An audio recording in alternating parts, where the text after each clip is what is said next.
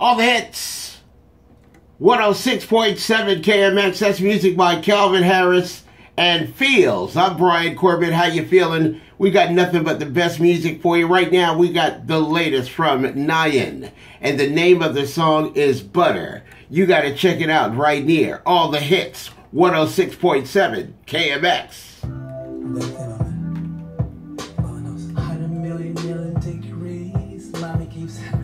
dancing next to me as she's on it, on it, on it. rock on it, rock on it, rock on it, girl. She could be a freak in the sheets as she loves to touch it.